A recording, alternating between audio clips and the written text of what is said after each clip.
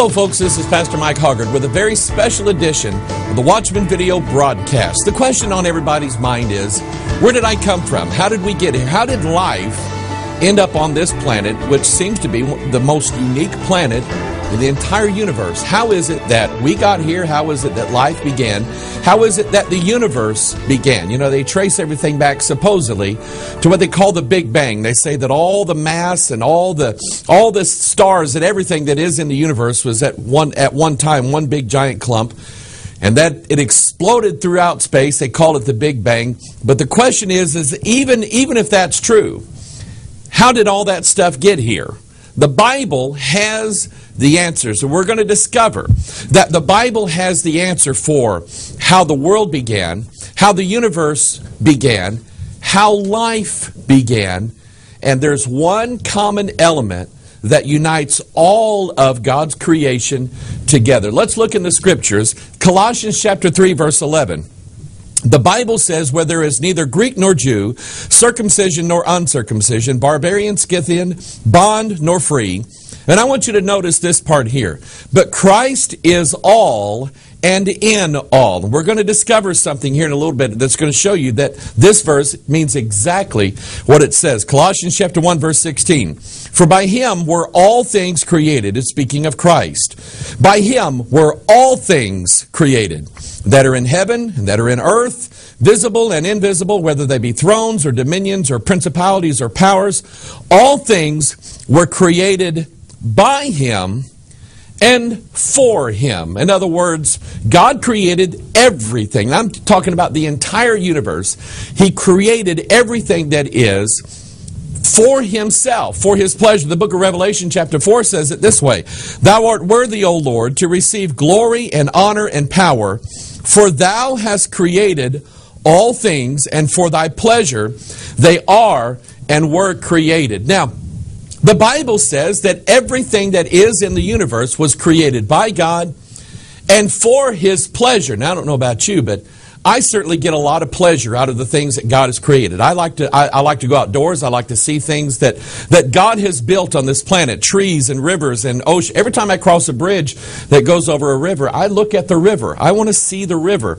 That is pleasing to us the way the layouts of rivers and lakes and streams and, and ocean waves. People go to the ocean. Why? To see the ocean, to experience the ocean. It gives us pleasure just like it does God. One of the things that I like the most is looking at stars. I love to go out on a clear night, especially in the wintertime when the air is clean and you look outside. We live out sort of in the country away from the city lights and you can see a lot of stars at night. And I love to look at stars. I love to look at pictures of galaxies. Here's one. I want you to notice. Uh, this is a very common picture that we see. It's a picture of a spiral galaxy. Most galaxies, let me, let me explain this. A galaxy, in case you don't know, is just a cluster of a lot of stars. Billions and billions and billions of stars. That's what a galaxy is. Most of these galaxies are clustered in this sort of spiral thing. We're going to see something about this here in a little bit. A few years ago, NASA sent up a space telescope called the Hubble telescope. It had the ability, once it was in space, to see farther into space than anybody had ever seen before. Now, here's what I, I here's what I like to do uh, when I'm speaking at conferences talking about this subject. What I'll do is I'll have everybody in the audience to take their fingers and put them together like this and to make about the smallest opening in their fingers that they possibly can and hold that up to the to the sky or to the ceiling. This picture here that Hubble took represents about that much space real estate. Okay? In this picture, this is called the Hubble Deep Field. They were looking, according to their observations, 14 billion light years into space. They were looking farther into space than anybody had ever seen. And here's what they saw they didn't see, these are not just singular stars. These are galaxies, galaxy clusters with billions and billions of stars in each and every one of them. God, and that's just this much space real estate that we're looking at. So there are pro, there are an innumerable amount of galaxies in the universe, and each galaxy has billions and billions, possibly trillions of stars in them.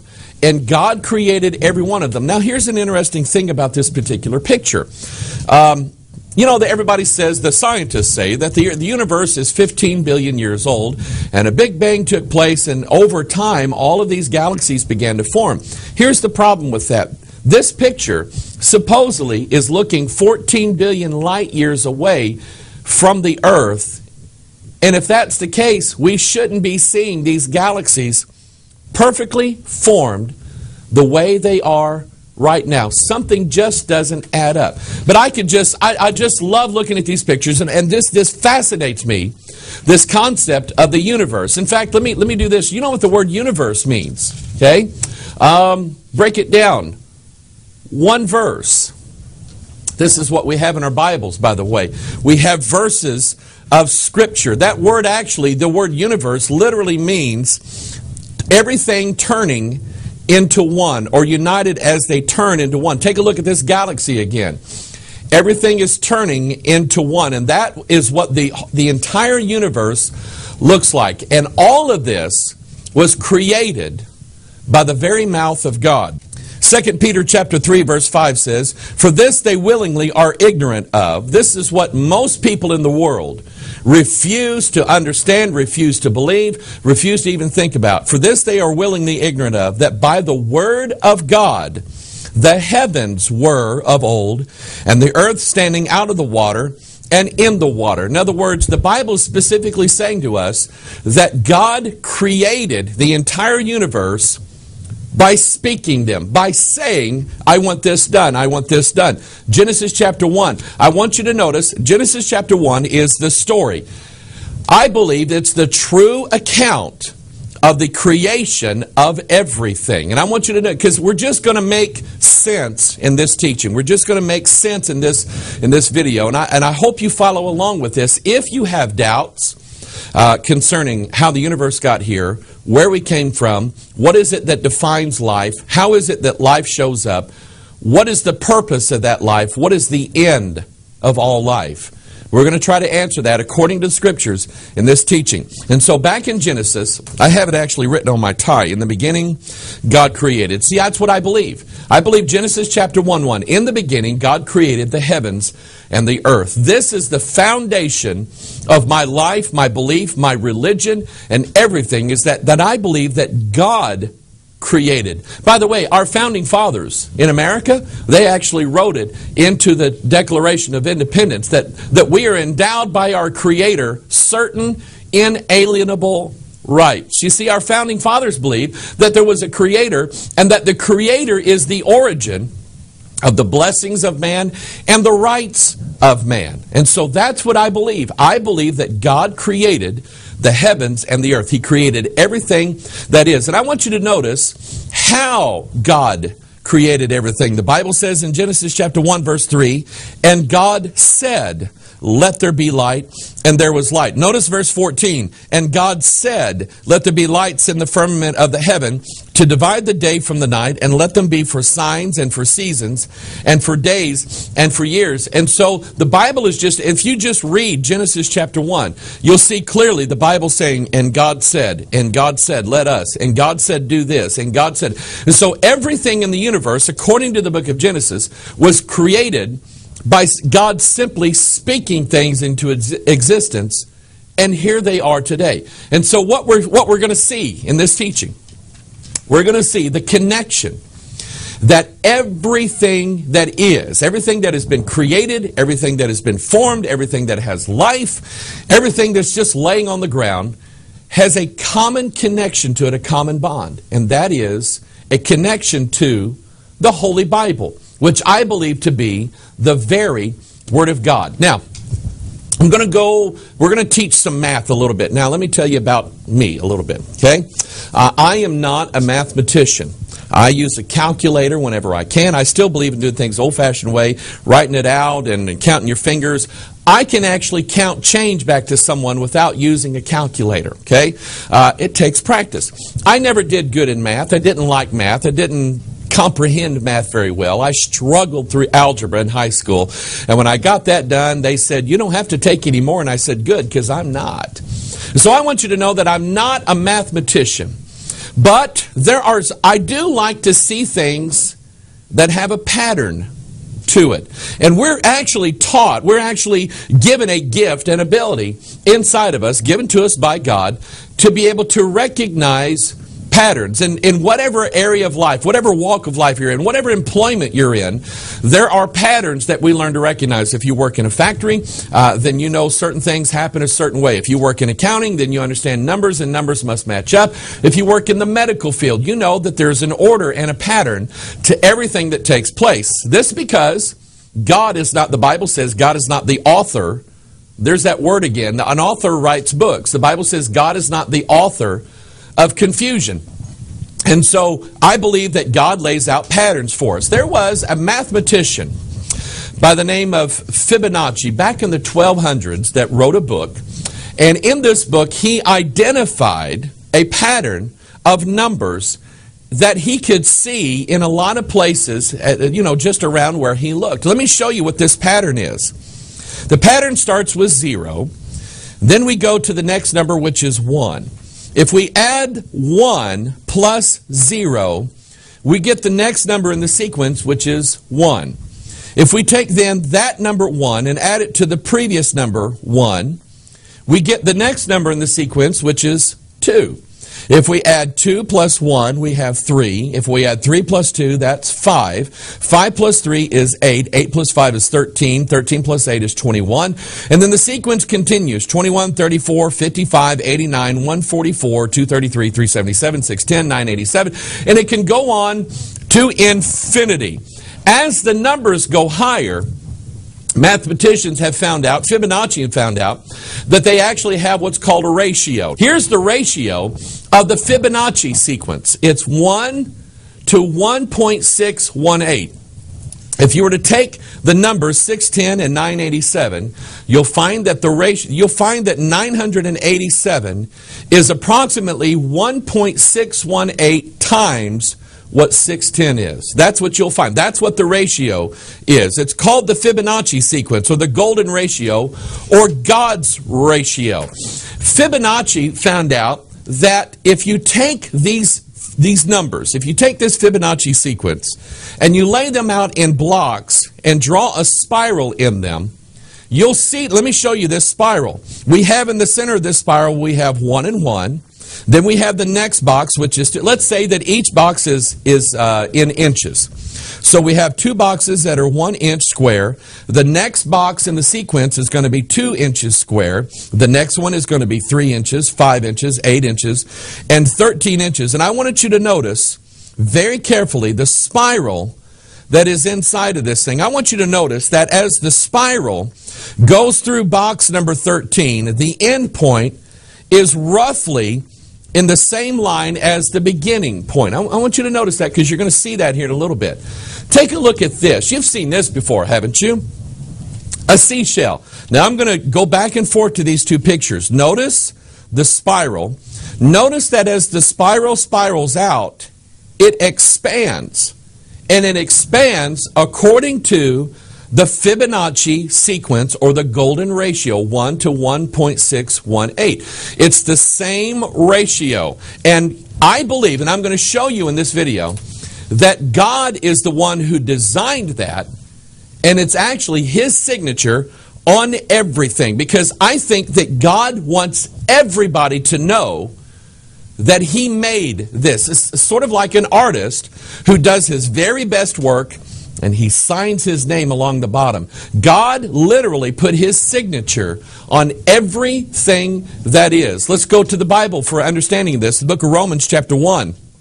Verse 19 says, Because that which may be known of God is manifest in them, for God hath showed it unto them. For the invisible things of him from the creation of the world are clearly seen, being understood by the things that are made, even his eternal power and Godhead, so that they are without excuse. Now, Paul is telling us from the book of Romans, through the Holy Spirit that God literally put His signature in everything that is. We're, we can look, we can look at human beings, we can look at animals, we can look at seashells, and what we're going to see is we're going to see the signature of God in everything that He created. Let me show you this picture of the Fibonacci spiral again. Let me show you the seashell. Now take a look at this. You see this flower and all the petals in this flower. You see the Fibonacci spiral there. Here is some broccoli. Now I like broccoli. But notice that the same spiral and its outward expansion is exactly identical. Let's look at this plant here. This sort of reminds me of grass. Grass has the same spiral in it. If you take apart a, a blade of grass, when you get down to the middle of it, you have this exact same spiral. Notice that was the spiral starts and it and it unfolds itself literally in the same pattern. It expands as it unrolls and then it sort of tails off. Notice here the another rose, the petals outward expanding in a spiral with the same exact ratio. Notice this plant here. Same ratio. A chameleon's tail. Notice as it starts in the center, it's small, and as it as it unrolls, it gets bigger and bigger and bigger. It is following the exact same pattern. Now, that is things that are related to things that are living.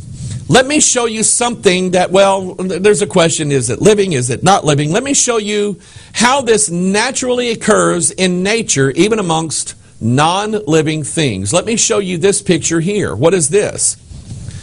It's a wave. And isn't it interesting? Nobody really causes waves like this. It's the, uh, you know, I was told in school that it's the, uh, the gravity of the moon pulling on that causes the tides and the waves to roll up and everything like that. You know, I just believe that. And so no one is actually causing this wave to act in this particular manner. But I want you to notice that at the peak of the wave, you have it swirling outward and expanding in almost the identical pattern that we saw in all of these other things.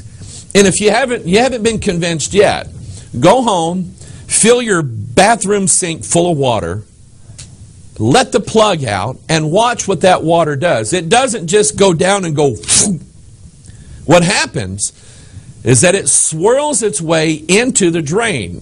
Same thing happens when you flush the toilet. Just go home. You want to see the handiwork of God? Go home and flush your toilet because you'll see the exact same spiral there. How is it that all of these things, and you know, I mentioned things that are not alive, actually, water.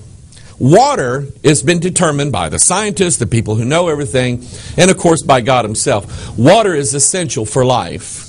If there were no water on this planet, there would be no life. Why, why, are we going to Mars? Why are we going to the moon and looking for water?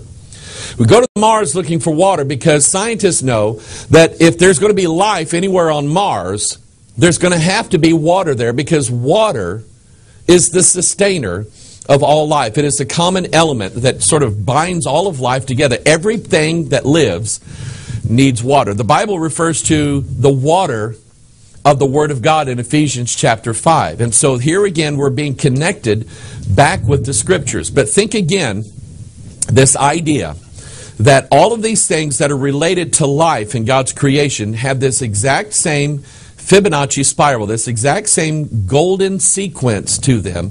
That is the signature of God. Again, let's go back to the scriptures. 1 John chapter 1 verse 1.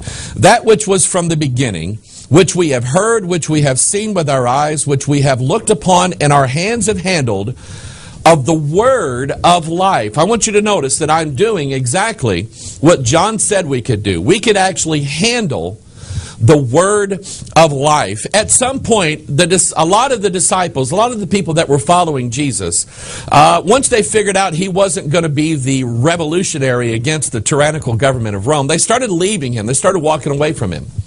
Jesus looked at the 12 disciples and he said, Wilt thou also go? And Peter turned around and looked at him and said, To whom shall we go? You have the words of eternal life.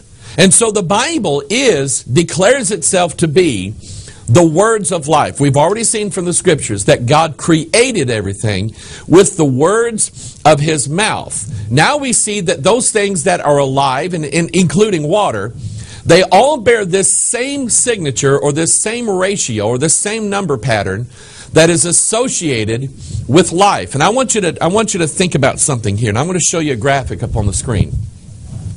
Uh, back in the Old Testament days, they didn't write in, in books like this. They wrote in scrolls. And they would take and they would write out the words, the prophets, as they, the Bible teaches us that holy men of God spake as they were moved by the Holy Ghost. And so these holy men like Jeremiah and Isaiah and David, they would write out the things that God was telling them to write out. And they would take them and they would roll them up into scrolls. And as that, as a, you take a piece of paper and you roll it up, and you'll, what you'll notice is that if you get it rolled up, I can't do this with this piece of paper here because it'll just go back into it. But if you keep a piece of paper rolled up, and then it gets bent into that shape and it's used to being rolled up. If you just let it go, you'll notice that it'll expand a little bit. And from the center of that scroll, the expansion becomes greater and greater and greater. And so even in even in paper, these scrolls that these men, these 40 men of old, who wrote the words of God on, they were writing them on scrolls that were rolled up to fit the model of the Fibonacci sequence. We're looking at this number ratio 1, 1, 2, 3, 5, 8, 13, and so on. We're looking at this number pattern as the sequence of life, and it is always associated with life. I'm going to show you a picture here. Now, don't, don't gross out on me. Let me show you what this is.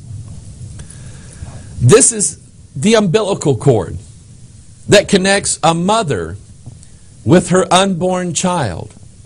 Why is it that the umbilical cord looks like a rolled up scroll?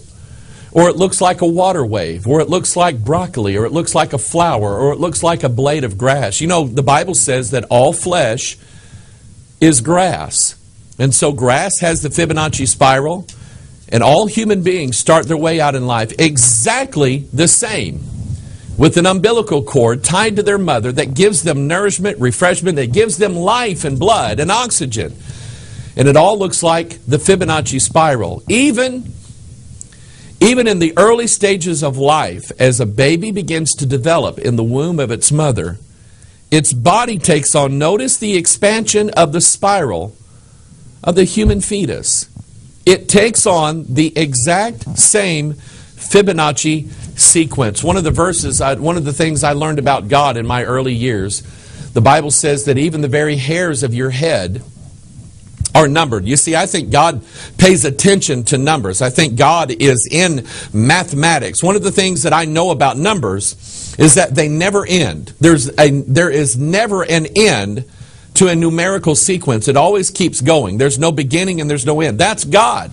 And by the way, numbers are always consistent. If I have five fingers and I go to China, it's still five fingers. And if I have five fingers here and I have five fingers here, and it's 10 in America, if I go to China, it's still 10. If I go to Mars, it's still 10. Numbers never change and they never have an ending. And that's who God is. And so God said, The very hairs of your head are numbered. And I want you to notice that here's a, here's a picture of a little boy's head. And I want you to notice that even the very hairs of his head follow this exact same spiral sequence, right? Starts right from the back of your head and just starts swirling around. And, you know, some guys, you know, that are losing their hair, their swirls seem to be bigger than everybody else's. But here, this little boy, and it's on everybody's head, that at the back of your head, this hair starts growing out and it starts spiraling out over your head.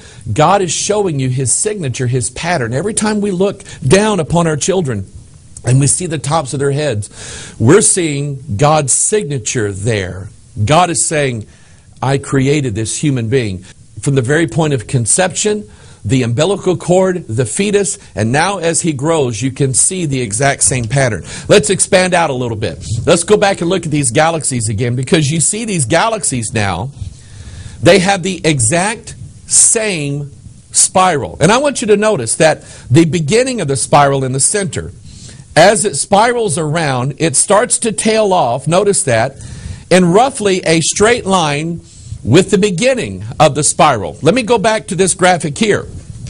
Notice that you have 1, 1, 2, 3, 5, 8, and 13. I want you to notice that pattern because that's the same pattern we see here in this graphic of these spiral galaxies. My daughter actually helped me out with this, and I was explaining to her this Fibonacci sequence, showing her how it's used, and she said, Dad, that's 33.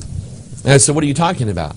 And she said, Dad, if you add the numbers 1, 1, 2, 3, 5, 8, and 13, they end up with the number 33. Let me go back to this verse where, that we started at the beginning, Colossians 3:11. By the way, if you multiply 3 times 11, that's 33. But anyway, Colossians 3:11, Christ is all and in all. All things were created by him, by Christ. So the Bible says Christ is all and in all.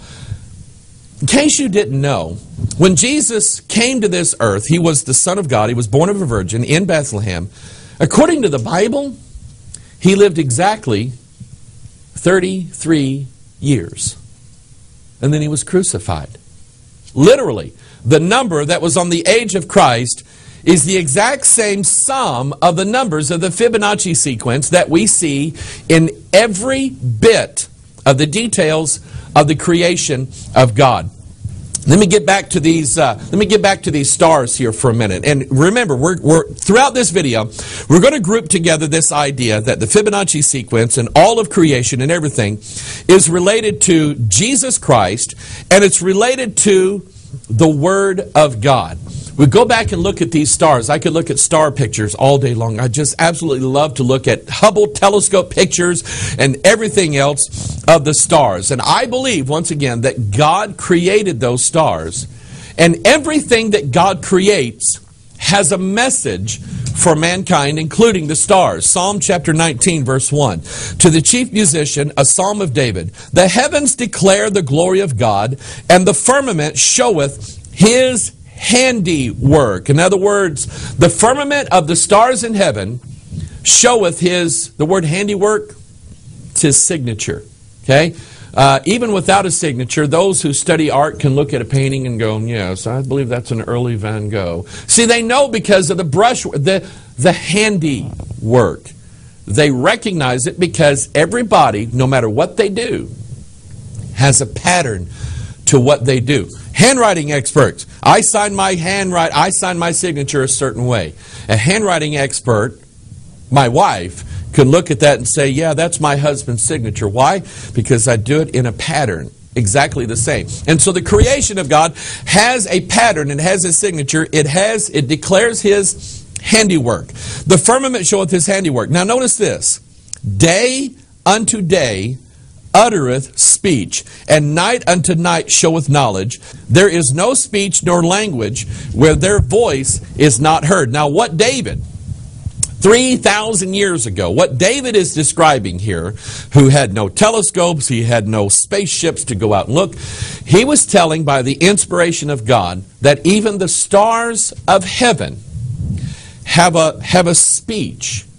They have, a, they have something to say to mankind. Now remember, I want you to I'm going to put these two things together. We have the stars in their in their in their galaxies and uh, we have the the old time men writing the word of God on these scrolls and they're rolled up. I want you to think about a spiral galaxy and these scrolls and how they look almost identical, the same spiral. So I want you to look now at two places in the Bible. Isaiah chapter 34, verse 4. And all the host of heaven shall be dissolved, and the heavens shall be rolled together as a scroll. Look at Revelation chapter 6, verse 14. And the heaven departed as a scroll when it is rolled together. Two places in the Bible, these two verses say nearly identical the same thing. By the way, I just counted the exact words in both Isaiah 34 4 and Revelation 6 14, and you have exactly 66 words in these two verses.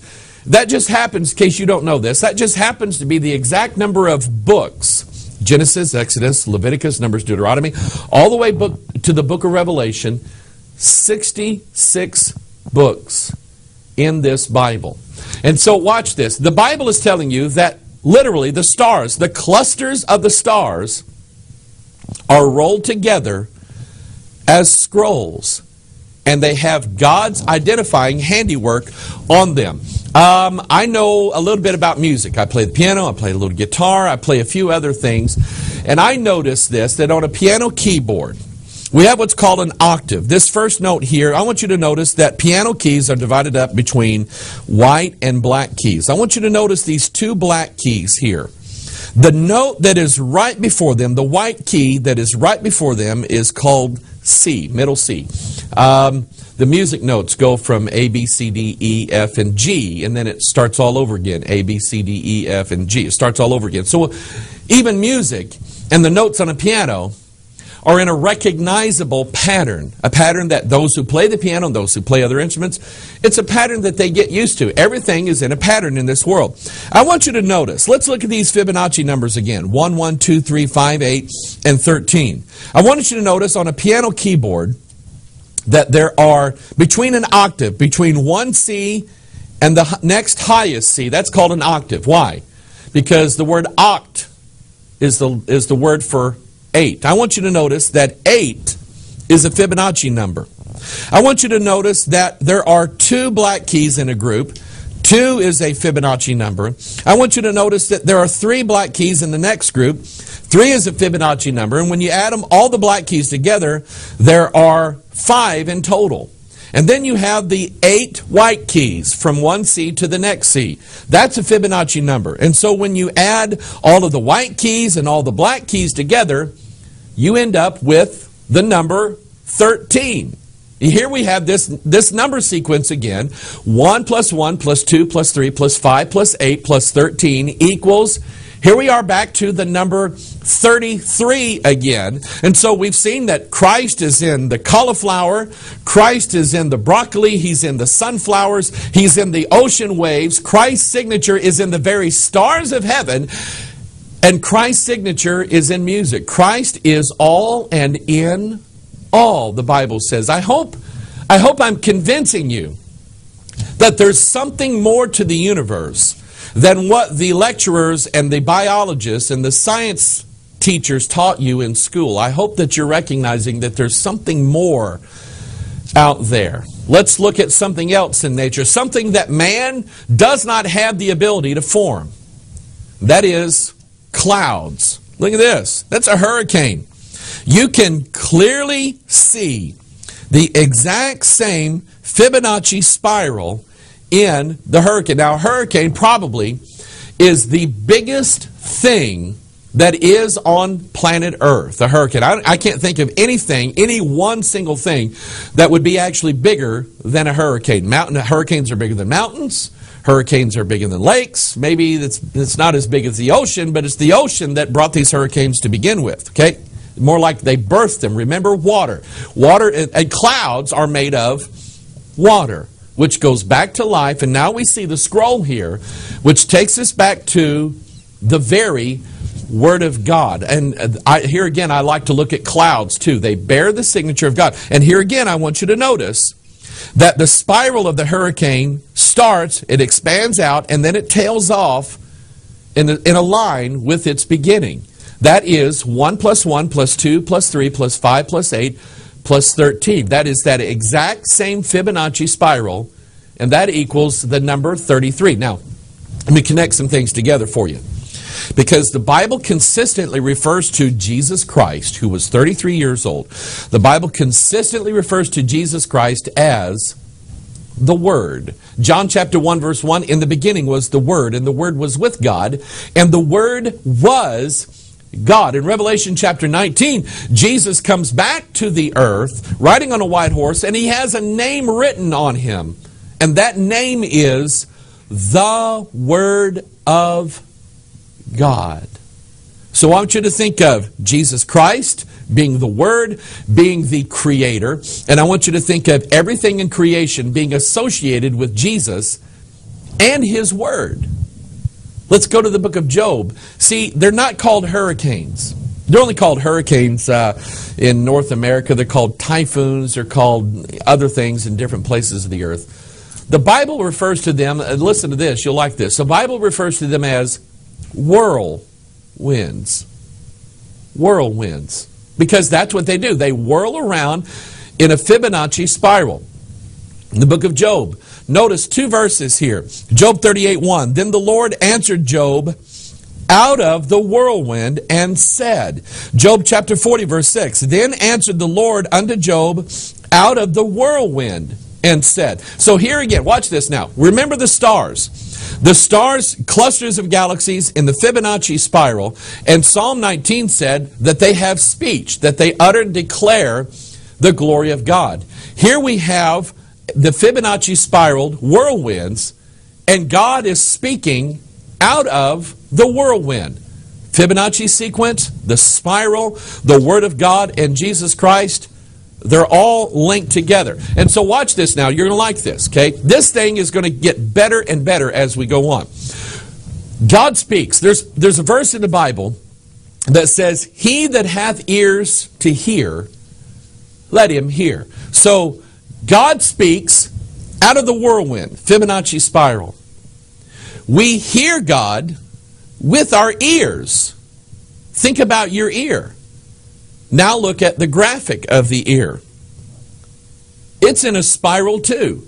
In fact, it's at the same ratio, 1 to 1.618, as the whirlwind that God is speaking out of, the stars of heaven that are speaking, that are rolled together as a scroll, the scroll itself. So when God speaks, it's associated with that same ratio, that same spiral. And when we hear, it's associated with that exact same spiral. But it, it gets better than that because some people, they don't, you know, they, they hear, but they, they, they can listen, they hear, but they don't listen. So it goes from the outer ear to this here. This is called the inner ear. And the very thing that God is speaking with, the whirlwind, the heavens, the scroll, the Fibonacci spiral, now is going to the spiral of our outer ear, and now is going to the spiral of our inner ear. And it's all associated. So, God speaking and us hearing is all associated with the exact same sequence. Maybe, just maybe, there's more to this universe and this creation than what you were taught in high school or what you were taught in college. Maybe there's just more to it than that. So let's go back and look at this again. Psalm 19, verse 1 to the chief musician, a psalm of David. By the way, musician, music. One, two, three, four, five, six, seven, eight keys in an octave, two black keys, three, three black keys, the Fibonacci sequence in music. So we have Psalms, 150 Psalms, and they're full of music. So we have music, we have the stars of the firmament in a Fibonacci spiral uttering speech, and the Bible says there is no speech, no language where their voice is not heard.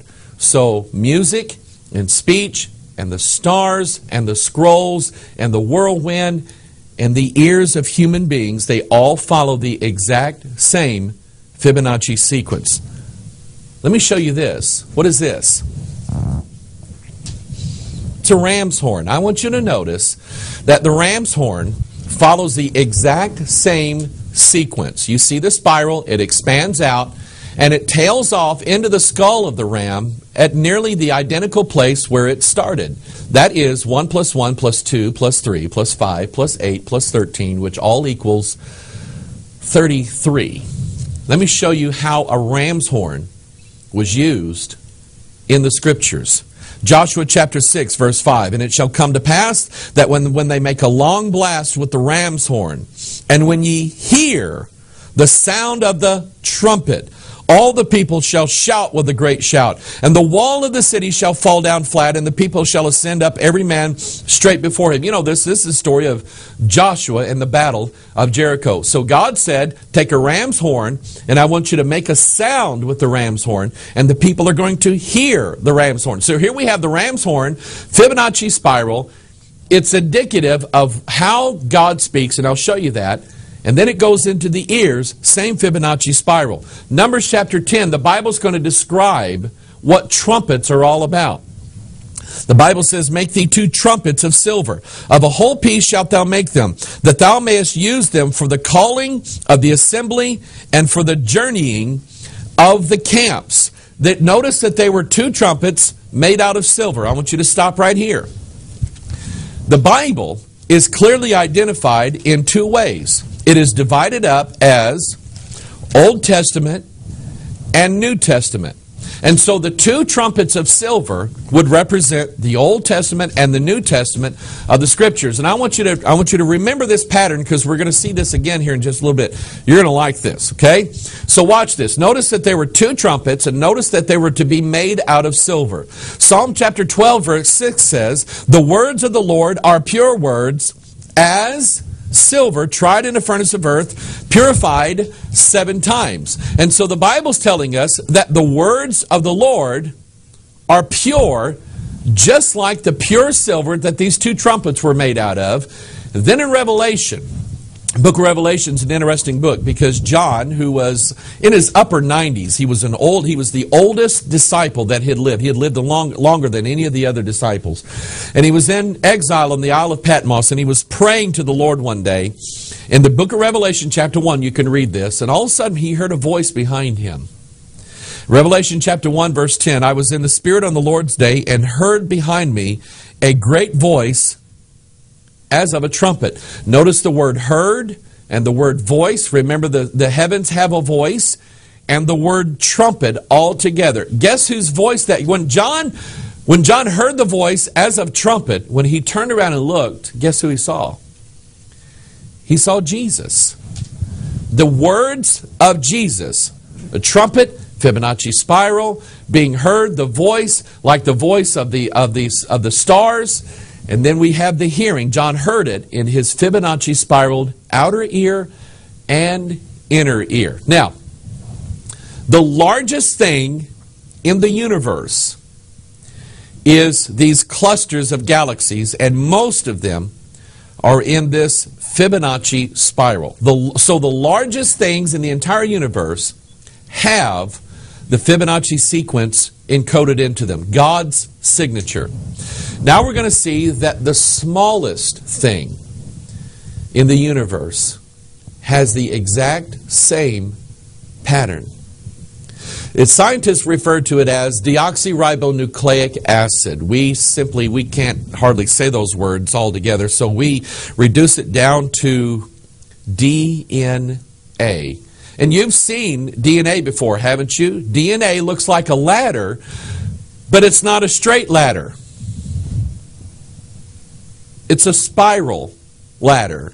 The spiral DNA, it's called the double helix. Remember, there were two trumpets. There were two parts of the word, Old Testament, New Testament. Here is DNA. It is the double helix. And I want you to notice, angstroms is a unit of measurement. It's very, very, very, very, very small. In fact, DNA cannot even be seen with a microscope because actually the molecules of DNA are actually smaller than light waves itself. But anyway, Follow the Fibonacci pattern 1, 1, 2, 3, 5, 8, 13, and I want you to notice that DNA at its base, from one rung to the next rung over, is 21 angstroms wide, and from the bottom of one spiral to the top of that same spiral, when it comes back around again, that measurement is 34 angstroms tall. So DNA has the, the spiral of DNA has the exact same sequence in it. The Fibonacci sequence. Now, here's where, we're, here's where it's going to get interesting.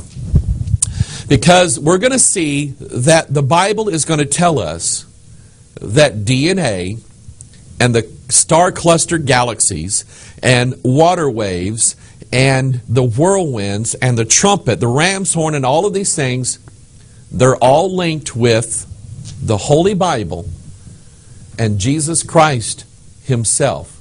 Because if it's life and it's created by God, it bears His signature. Now, let me, let me show you this, okay? This is a depiction of the temple that Solomon built uh, right after the time of David, about a thousand years uh, before Christ. I, the, if you follow the language of the scriptures, you'll understand really what the body or the temple is all about. 1 Corinthians chapter 6 verse 19. What? Know ye not that your body is the temple of the Holy Ghost which is in you, which ye have of God, and ye are not your own. So literally now, I want you to understand this. Literally, the Bible is telling you that your body, the one that you're living in right now, the one that you possess, the body that God built by speaking. Remember, God said, Let us make man in our image after our likeness. So God spoke man into existence. Man's body is the temple or the dwelling place of God Almighty. And in this temple resides a copy of the scroll, the Word of God, inside of this temple. Now, I want you to understand this because we're going to connect some things. Let's go back to Psalm chapter 19. Remember, the Bible says that the heavens declare the glory of God, and the firmament showeth his handiwork. Day unto day uttereth speech, and night unto night showeth knowledge. And so the stars, in, and their scrolled up ways, are showing to us and revealing to us the very Word of God. Notice as we continue in Psalm 19, the Bible says their line is gone out through all the earth. And stop right here. The line is what we would call these lines of Scripture. We write words in lines. And so the Bible says their line has gone out through all the earth, and their words to the end of the world. In them, meaning the heavens, hath He, God, set a tabernacle for the sun. So here's what God's doing. God is showing you that he built, he had Solomon build a temple. Uh, Moses erected a tabernacle, which is a movable type of temple. It was the dwelling place of God. We're going to see some neat things about the tabernacle too. The, the tabernacle, the temple, the universe is a picture of the tabernacle, and our bodies are a picture of the tabernacle or the temple of God. And all of them contain a copy of the Word of God. Now let's go back to this graphic image of the temple. I want you to notice, and this was done according to the according to God's plan, that this temple was built with stones. Okay, it was built of, of stones, and it was put together piece by piece. I want you to think about the human body. You see, because the human body is not just one dense solid, it is actually a, a body that is composed and put together just like the temple was built of stones. These stones are called cells. You have skin cells, hair cells, eye cells, you have blood cells, you have everything in the body is composed of these little bitty stones called cells. Let's go back to the scriptures now. 1 Peter chapter 2 verse 5 the Bible says ye also as lively stones are built up a spiritual house and holy priesthood to offer up spiritual sacrifices acceptable to God by Jesus Christ. Um, in our local church congregation, our church uh, represents the body of Christ. It is not built of, of just one person. One person is not the church. It's a group of people meeting together, worshiping, following the scriptures. We are the stones that are building up the temple of this local congregation. Likewise, all of those who believe in Jesus and trust in the Word of God are the whole house of God, the lively stones, just like the cells of our body, that make up the temple that you and I dwell in. Now, um, as you've probably figured out before, I like to count things. I like to, I, I believe that wisdom comes from counting things in the scriptures. And I noticed the word temple kept showing up over and over and over. So I decided to just kind of look and see how many times the word temple or temples was used in the scripture. Now, there's a couple of references to the word temple that means like, you know, the side of the head. So I excluded those because those don't refer to like a building or a dwelling place. The number of times the word temple or temples is used in the scriptures is exactly 208 times. According, and depending on what source you look at, there are 208 bones in the human body. There's some some people say 206, but it, I think it has something to do with the sternum and how you count the sternum. But from the source that I use, Wikipedia, 208 bones in the human body, and that matches perfectly with the exact number of times that the word temple or temples is used. And so I want you to understand this. The human skeletal system, if we believe, now listen to this now, if we believe that the skeleton was built by God, spoken by His Word, then everything about our skeleton is going to follow a pattern given to us in the scriptures. Let me show you this. This is the uh, this is the rib cage.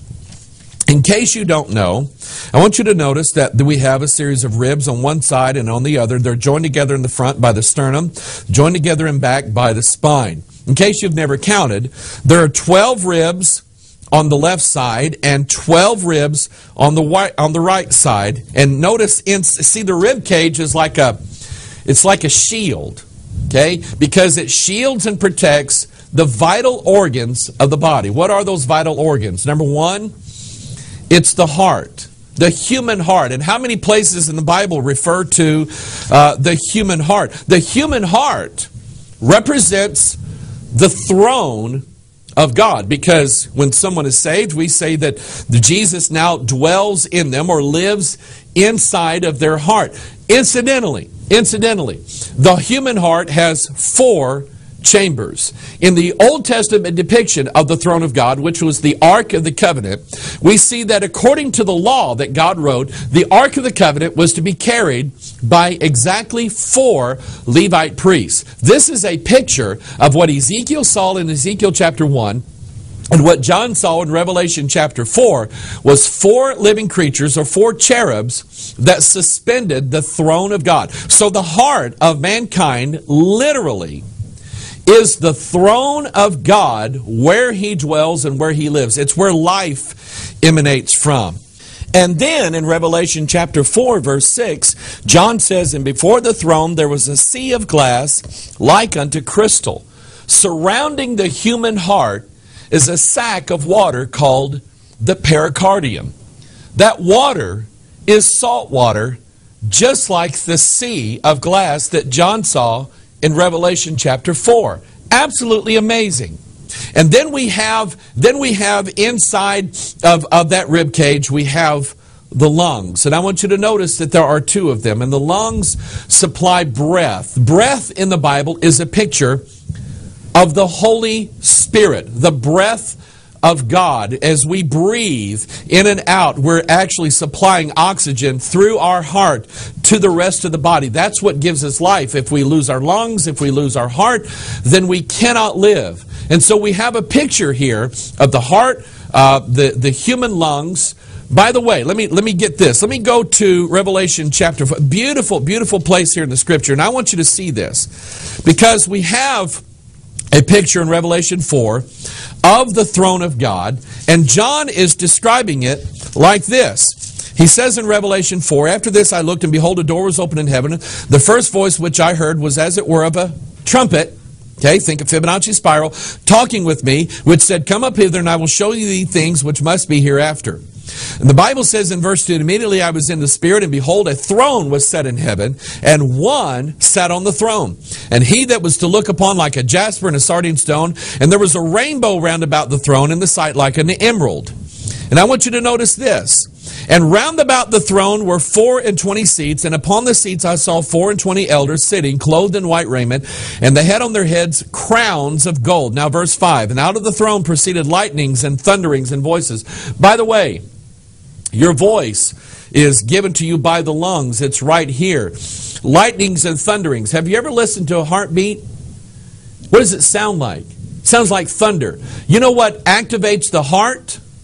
Electricity, lightnings, and thunderings, and a voice coming out of this throne area of God. And there were seven lamps of fire burning before the throne, which are the seven spirits of God. We mentioned the two lungs. They're a picture of the Old and New Testament of the Bible. They are the spirits of God. And the Bible says there are seven of these spirits. Um, read Isaiah chapter 11, verses 1 and 2, and you'll find out what those spirits represent. But here we have the two lungs that deliver oxygen to the heart and thence to the bloodstream. These blood vessels that go to the heart are in what's called vascular bundles or nodes. Okay? And you'll have a vascular bundle here and one here and one here. You just happen to have seven of these vascular bundles that take the oxygen from the lungs, distribute it by way of the heart into the bloodstream of the human being. Are you look at this? We have the seven spirits of God, we have the throne of God, and then watch this. Here's the skeleton. Okay, here's the skeleton. We have 12 ribs on this side, we have 12 ribs on this side, and they surround everything that's in the middle. According to Revelation chapter 4, around about the throne were four and twenty seats, and upon the seats I saw four and twenty elders sitting clothed in white raiment. What color are bones, by the way? They're white, and they had on their heads crowns of gold. And so I'm just wanting to show you that you were created literally to be the temple of God. Here's the throne. It's in the four chamber heart, surrounded by the seven spirits of God in the two lungs and the seven vascular bundles. And all of that is surrounded by 24 ribs that are dressed in white. You see, there's more about you than what you learned in high school biology. You were literally created by God to be the temple of God. Let's look at another part of our skeleton. Let's look at our hand. Our hands are absolutely fascinating. And if I were to take my hand and, and do this with it, I'm going to show you a close up. You see that when my fingers curl in like this, it makes the Fibonacci spiral. And so our hands are a representation of the signature of God. Let's look at an x ray of the hand. Here you have, let's look at the index finger of this hand. Uh, we have this part here and this part here and this part. It's all divided into sections. And now just kind of look at it, you'll notice that this part of your finger is a little bit longer than this part, and this part of your finger is longer than this part, and then you have a bone right in here that's longer than this part. And I'm going to show you this. Because if we were to take, remember the Fibonacci sequence, the, the, the two in the sequence, when added together, make up the sum of the next number in the sequence.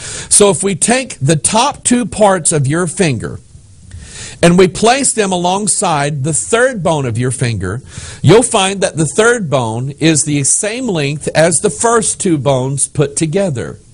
That's the Fibonacci sequence. If we were to take it to one more thing, the third bone of your finger, along with the second bone of your finger, added together, make the fourth bone that's inside of your hand. It is the exact, from here all the way down to here, it is designed by God with His signature to be, to be the exact same Fibonacci pattern that we see in clouds, that we see in water, that we see in the swirls of hair, that we see in DNA, that we see, I mean, we see it every place in creation, including the making of our hands. This is interesting because remember, all of this is going to connect now with the Word of God. Let's go back to the scriptures. Deuteronomy chapter 9, verse 10. And the Lord delivered unto me two tables of stone written with the finger of God. God took and put his signature upon the two tables. Think of the two trumpets and the two spirits, and now we have two tables of stones. Think of the two spirals of DNA. So now we have the Fibonacci sequence in our finger, God's finger, writing out His law, His commandments, on two tables of stone. This is where it gets really interesting. And this, if, I haven't convinced you yet that you are a unique and a special creation of God, I hope to with everything that I lay out in this video teaching because I want to show you, I, I count things and I think that everything about me matches what's in this Bible. Think of the Word of God. Think of the two divisions of the Word of God, the Old Testament and the New Testament. In the New Testament, you have exactly 27 books Matthew, Mark, Luke, John. It goes all the way through to the book of Revelation. You have exactly 27 books. I, I, want you to think of like this too. Okay? We have a left side to the Bible and a right side to the Bible.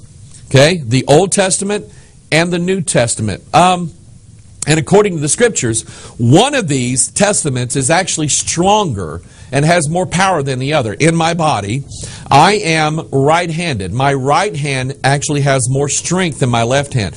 In the Bible, the New Testament has more power. The Old Testament declares that we're all sinners, that none of us are good. That's what the Old Testament says. It says that it gives us the law, tells us to keep the law, but the problem is we can't keep the law. So the Bible says that the Old Testament is weak. It represents the weak side of the body. On me, it's the left hand. The New Testament is strong because Christ died for our sins, paid the price for us, and so now we have the strength of the right hand. In this New Testament, you have 27 books on the right side of the Bible.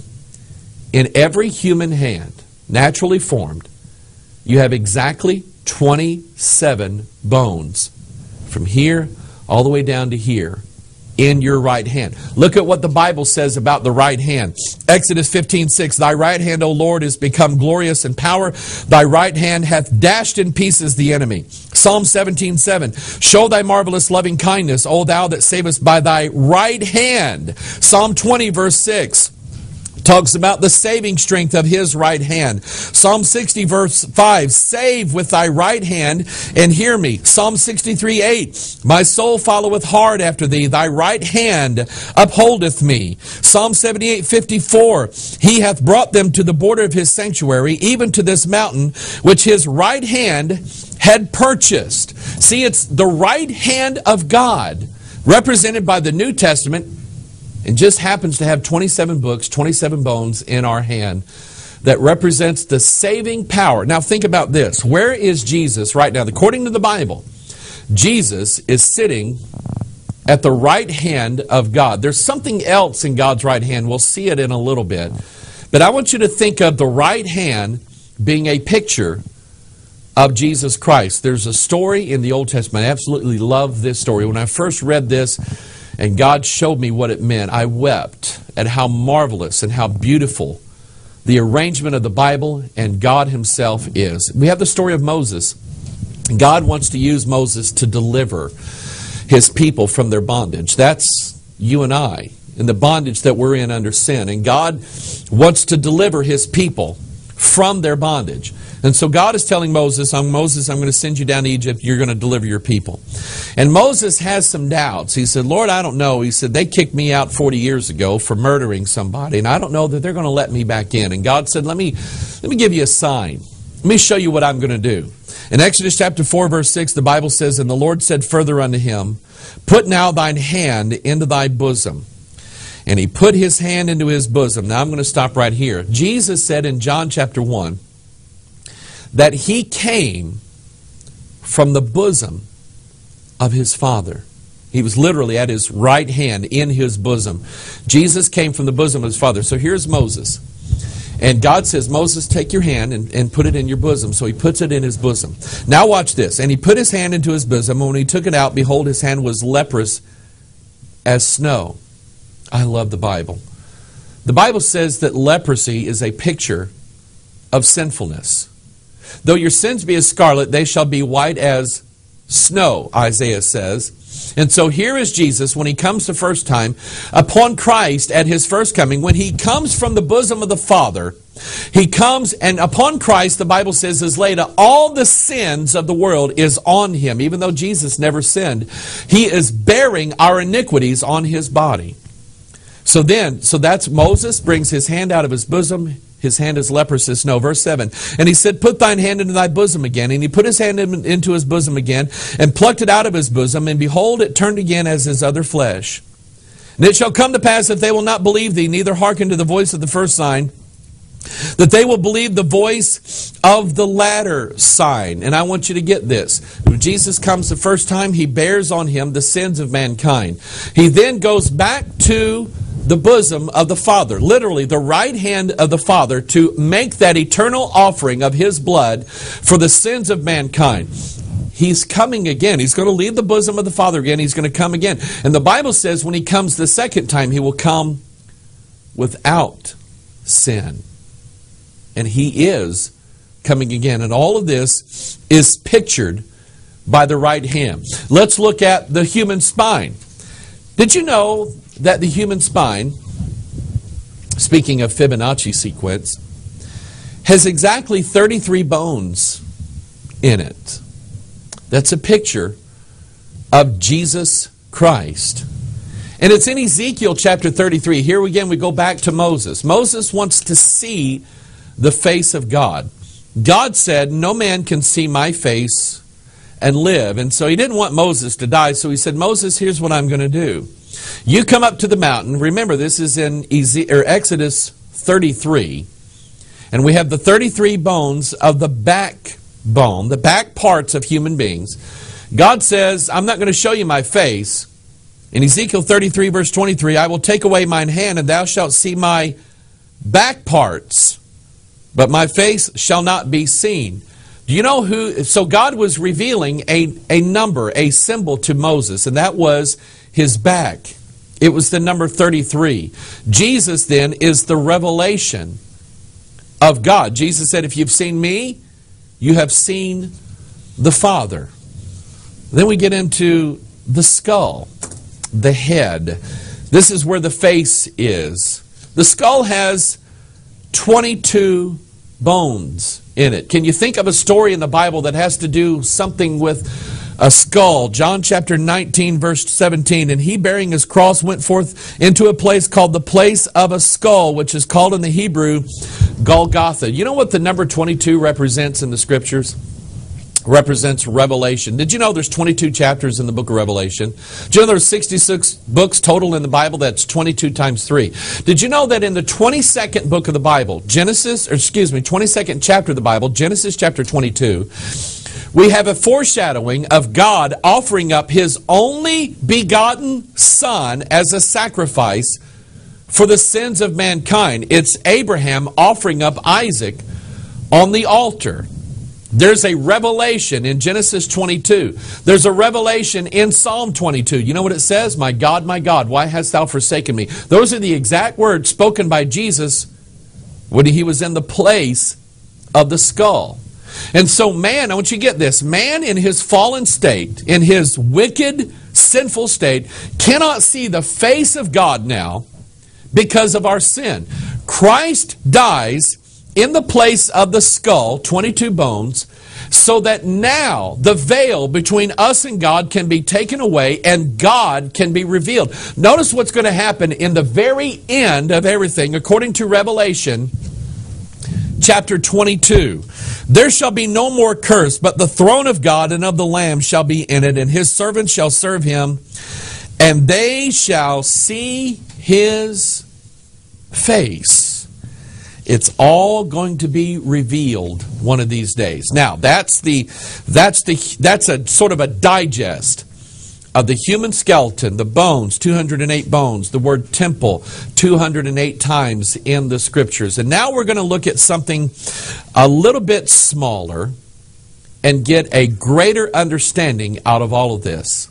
It's the human cell. Remember, the temple was made of cells and these cells have an identifiable pattern to them. We're going to see that. I want you to notice that in every cell of your body, you have a similar structure. You have the cell wall, you have all these apparatuses inside the cell, and then in the middle of the cell, you have the cell nucleus. In the cell nucleus, you have 23 pairs of what are called chromosomes. Your chromosomes is where your DNA is stored. Now, we're going to talk about DNA for a minute. We're going to understand a little bit about DNA. Remember, I'm not a mathematician, I'm not a biologist, I'm not much of a scientist, I can tell you that.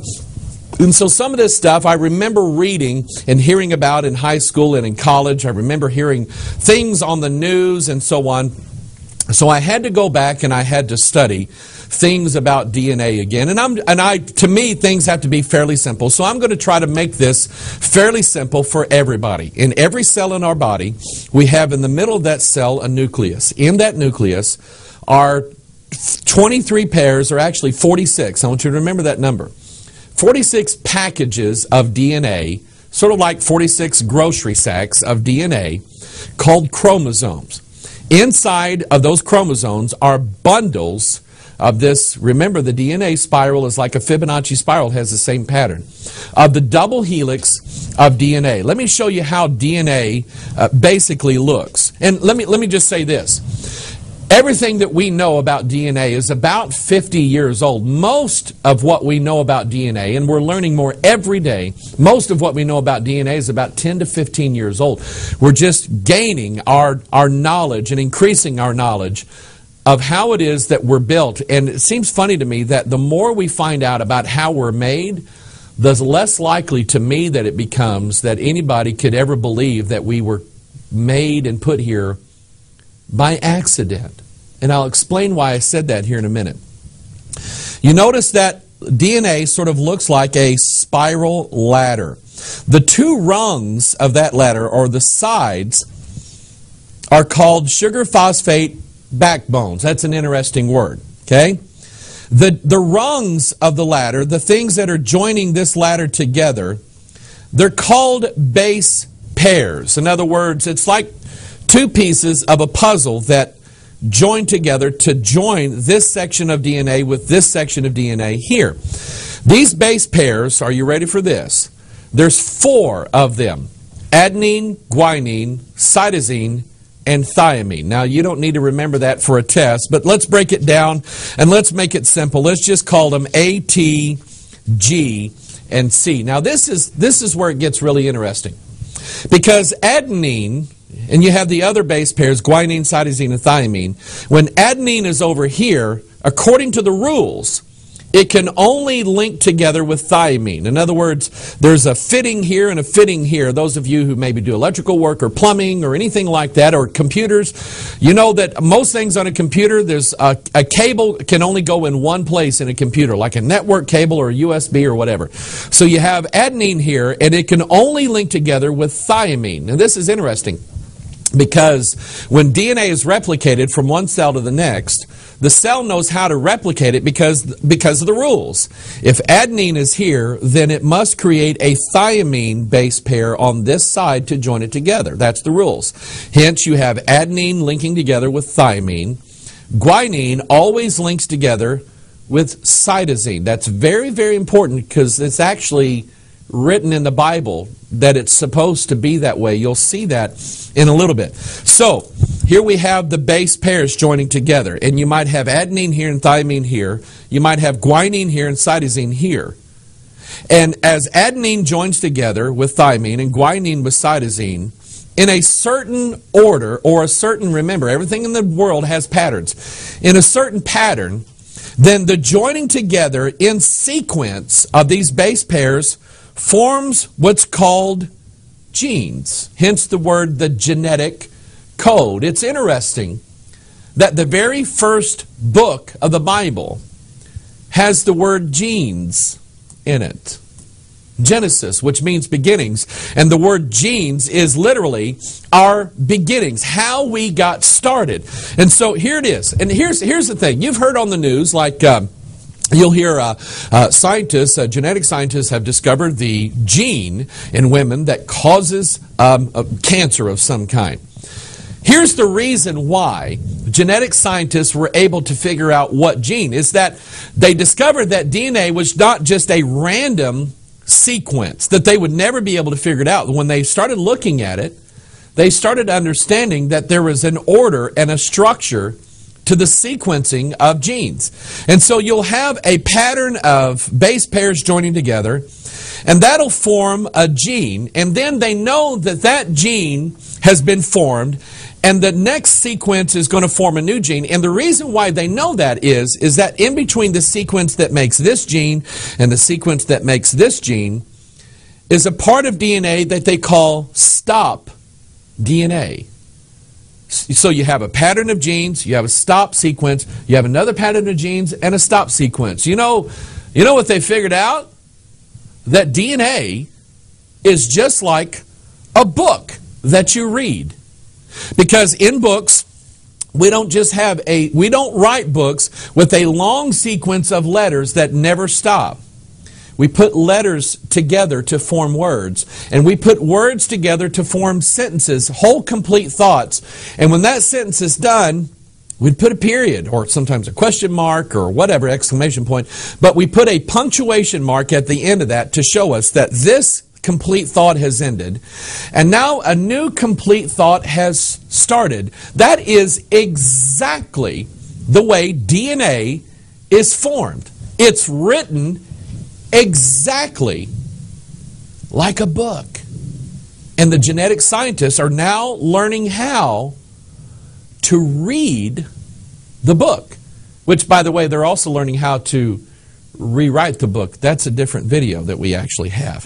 And here's the interesting thing this is where we're going to get back now to the scriptures.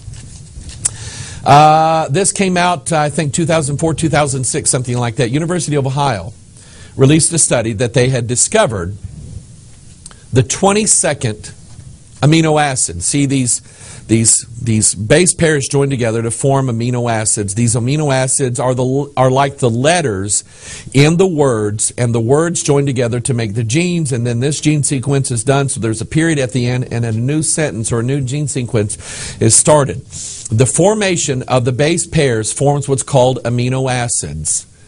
There are exactly 22 of these amino acids that make the letters, that make the words, that make the sentences, which are the genes of the book of your DNA. Now, that is very interesting. If we go to our Bible, we find revealed to us in the pages of this Bible a particular psalm. It's Psalm 119. You shouldn't have problem finding it because it's like the longest chapter in the Bible. Psalm 119 is divided up. You'll see in, in your King James Bible that at the beginning of Psalm 119, it starts with Aleph. You know what that is? That's the first letter in the Hebrew alphabet, which is what the Old Testament was written in. Then you have Beth. That's the second letter. And then eight verses down, you have Gimel, and then Daleth, and then Hey, and Val, and Zain, and Cheth, and Teth. You have all of these Hebrew letters, and if you just count to the end of Psalm 119, you'll find out that the Hebrew language that the Old Testament was written in was written in exactly 22 letters. The exact same number of letters that the amino acids are that make the genes that form the book of your DNA. So I'm going to I'm going to go back to this for a minute. I want you to think about that. Here we have musical notes, we have the scroll of the Bible, we have our hands, we have ram's horns, we have ears, we have everything in creation, including our DNA, including our DNA basically shows the handiwork of God and the signature of God in the Fibonacci spiral. Now let's go back to this DNA. This, what, what said scientists now have determined is a book. Let's go back to this book, deoxyribonucleic acid. Remember, it's written in letters and it has 22 of those. And those 22 letters make words called genes. And those gene sequences form patterns like paragraphs and sentences in a book. And all of your DNA together basically is the book of your life. If you have a kitty cat, your kitty cat has DNA. It has different DNA than you.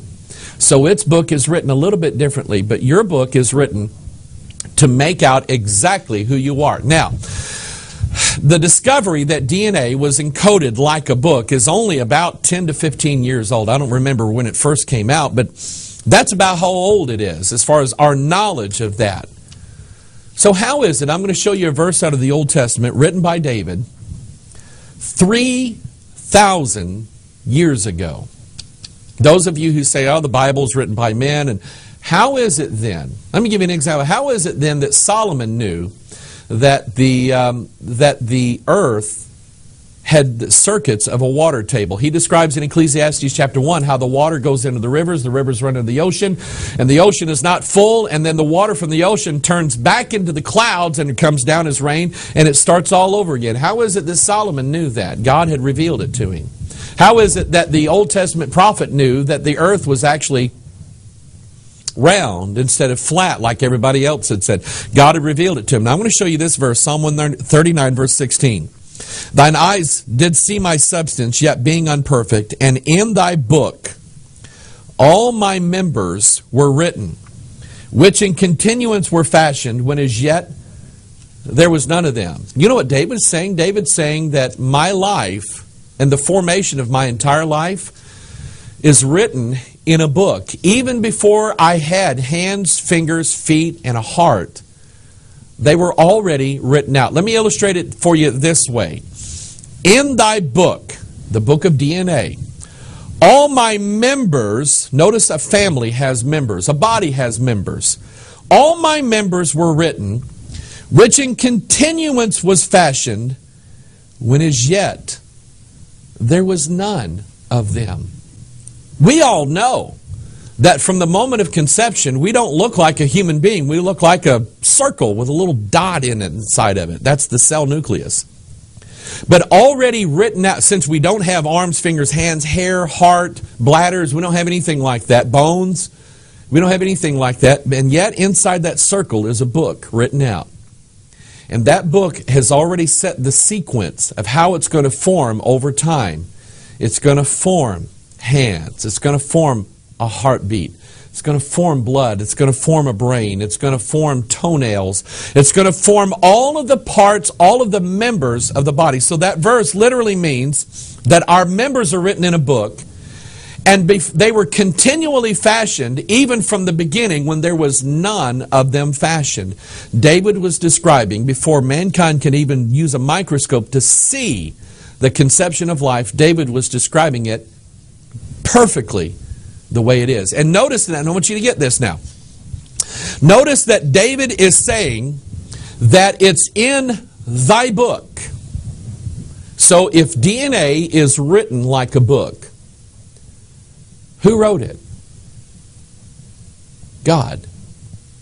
You see, we would never think that if we took three million pieces of paper, put it out into a, an empty field, and put a typewriter out there, or let's say a computer, we would never think ever that if we just set it out there by itself, that a book would form, let's say 15 million years later.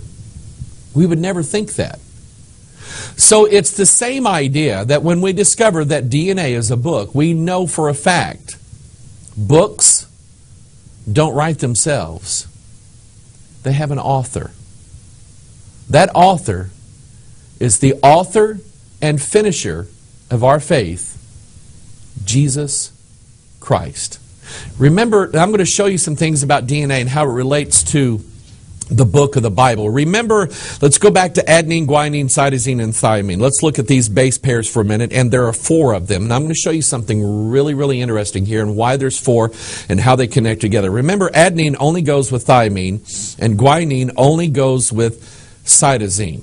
Okay, that's the rules. That's the rules that are determined by the author of the book. I want you to notice in Isaiah chapter 34, verse 16 Seek ye out the book of the Lord. That's the Word of God, and that's the DNA sequence of man. Seek ye out the book of the Lord and read. No one of these shall fail, none shall want her mate. In other words, God is telling Isaiah, Isaiah, write this down. This is going to be the pattern for life. This is the structure of DNA is that when the base pairs join together, if there's adenine here, there's always going to be thymine here. If there's cytosine here, there's always going to be guanine over here. Those who study the Bible, and I mean really study the Bible, know that the Old Testament always connects with the New Testament. It always joins together. Let me give you an illustration. In the fourth book of the Bible, the book of Numbers, we have a story of the people murmuring and sinning against God and God releasing serpents in among them and it's killing them. And they cry out to God, and God says to Moses, make a, make a pole, a brass pole, and put a serpent on it, and raise that serpent up. And when the people look upon that thing, I will save them from the serpents that are biting them, and I will let them live. We go to the fourth book of the New Testament. And Jesus said in John chapter 3, As Moses lifted up the serpent in the wilderness, Old Testament, even so must the Son of Man be lifted up, that whosoever should believe in him should not perish, but have eternal life. You see, the New Testament is connecting together perfectly, just as adenine and thymine together with the Old Testament. They join together. None literally shall want her mate. The interesting thing about these four base pairs, we have adenine, guanine, cytosine. Chemically, Adenine, guanine, and cytosine are similar. Thymine is different because when you only have one strand of nucleic acid, it's not deoxyribonucleic acid. It's actually ribonucleic acid. When one strand, it's RNA. You've heard those letters before. RNA contains adenine, guanine, cytosine, and a fourth base pair called uracil. Okay? When you, when you add the second strand of the ribonucleic acid, it now becomes DNA and uracil is removed and now it's replaced with a chemical called thymine. So here we have a pattern. We have adenine, guanine, cytosine, but now we have something different. We have thymine. And I'm going to put this up on the screen. I want you to notice we have Matthew, Mark, and Luke, and John. Anybody that studied the scriptures will know that if you just read it, you'll find out that Matthew, Mark, and Luke, they all tell a very similar story in the Bible. Okay? They're called the synoptic gospels because they seem to synchronize with one another. And everybody who's studied this knows that John is different. And so watch this. Here we have one rung of the, we have one side of the ladder of DNA.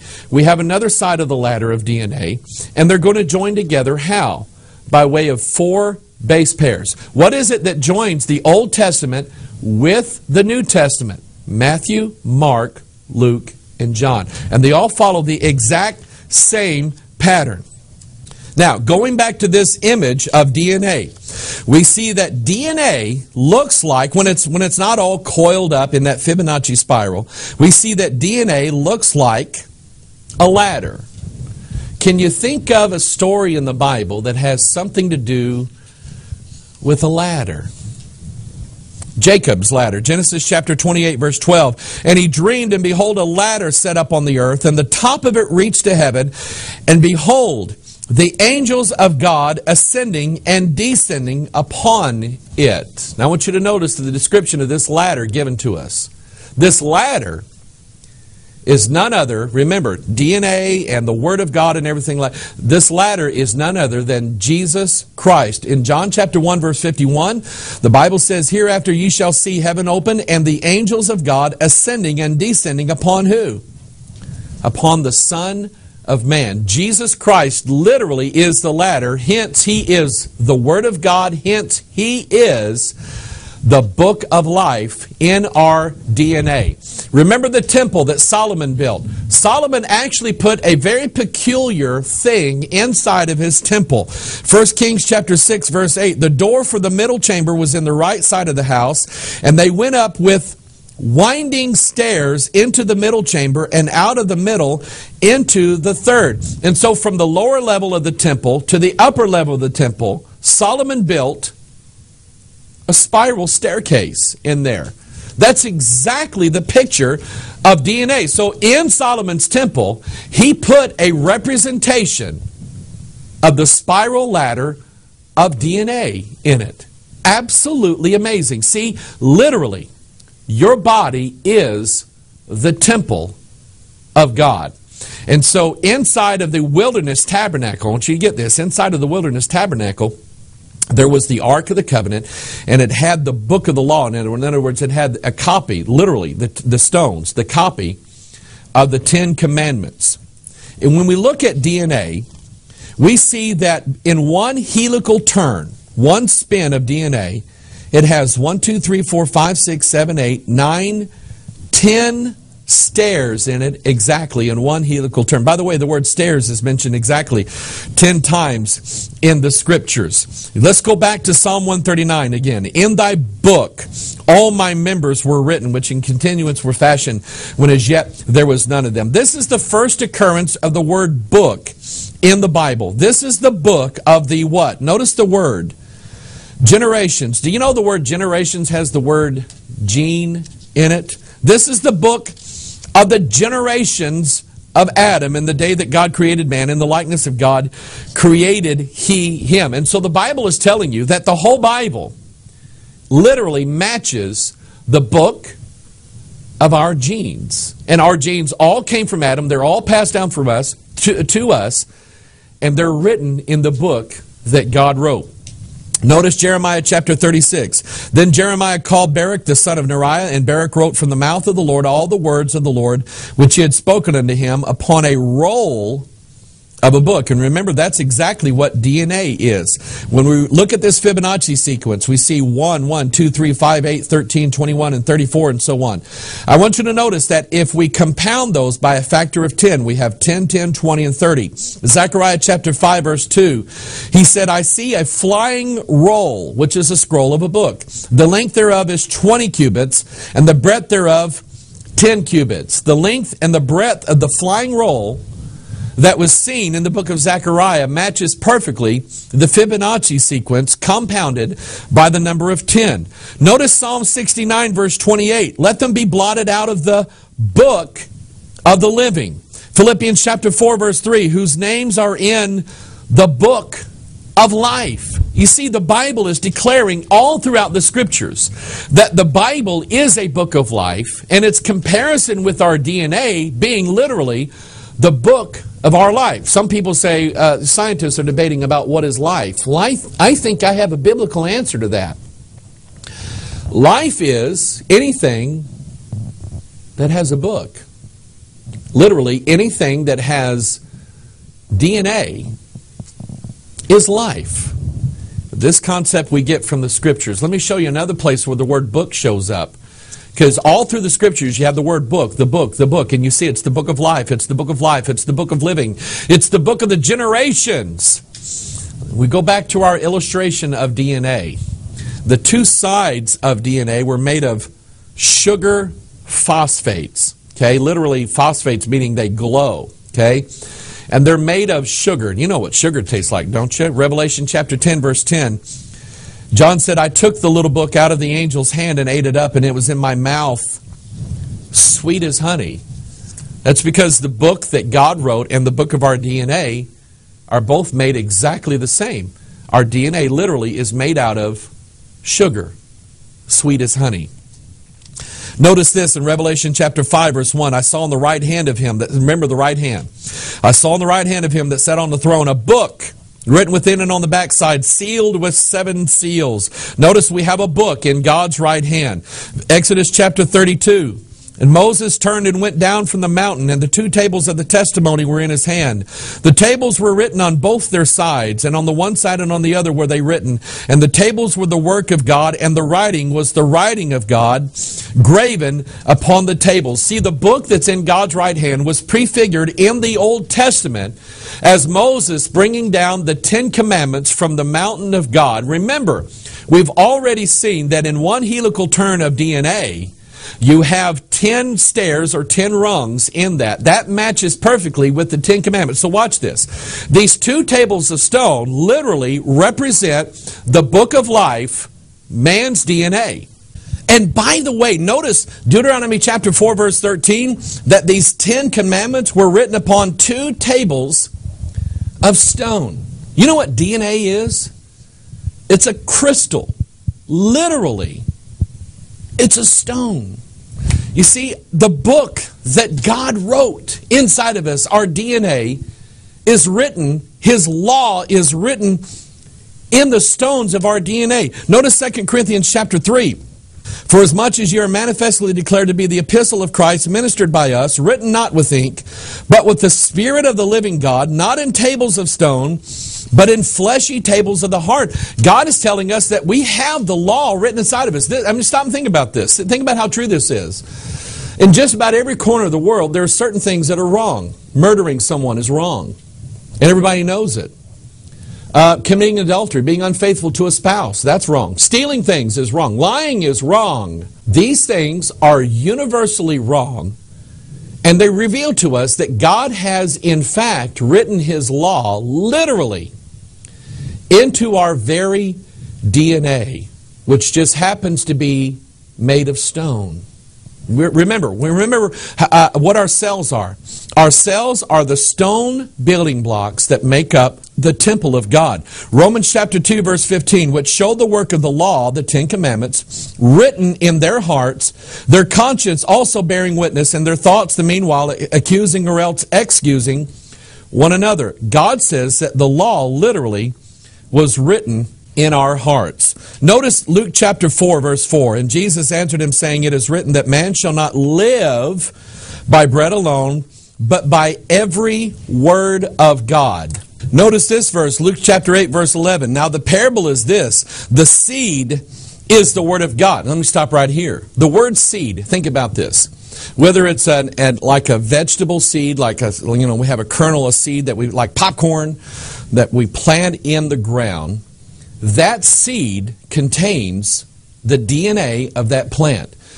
Seed is also a biblical term that refers to literally the seed of mankind, which contains his DNA. And so this in this parable in Luke chapter 8, Jesus himself is saying that seed is the Bible. That our, he's saying that our DNA is the Bible. Acts chapter 12 verse 24, the Bible says, "But the word of God grew and multiplied." Notice that when when life forms inside the womb, there's one cell, but it doesn't just stay there. And nobody has to make it do this, nobody has to tell it. This is just the nature of life is that one cell turns into two cells. And those two cells turn into four, then 8, 16, 32, 64, 128. And then on and on, and all of a sudden now, remember, in thy book, all my members were written, that from the very start, the DNA book has already sequenced out two hands, two arms, two legs, two feet, two eyes, a, a, nose with two nostrils, a mouth, two ears, hair. Everything about that living creature has already been written out in the Word of God, which automatically grows and multiplies because it is the book of life. I mentioned earlier in this that human beings, remember that little fetus inside of a womb and your DNA, they all even follow that Fibonacci sequence that we see even in grass. Notice Deuteronomy chapter 32. My doctrine shall drop as the rain, my speech shall distill as the dew. As the notice the speech and the doctrine. Those are words that are related to the Bible and the small rain upon the tender herb, and as the showers upon the grass. Isaiah chapter 40, verse 6. The voice said, Cry. And he said, What shall I cry? He said, All flesh is grass, and all the goodness thereof as is the flower of the field. The grass withereth, and the flower fadeth, because the Spirit of the Lord bloweth upon it. Surely the people is grass. The grass withereth, the flower fadeth, but the word of our God shall stand forever. Literally, all flesh is just like grass. Why? Because it all has the same Fibonacci spiral. Whether it's grass, the clouds, the whirlwind, water, the, the stars of heavens, or your own DNA, they all bear the signature of God that was given to us by way of the Word of God, the Holy Bible. Let's go back to this Remember that remember our grocery sacks. We have 46 packages of of our DNA in every cell in our body. Remember our cells are like the, the temple.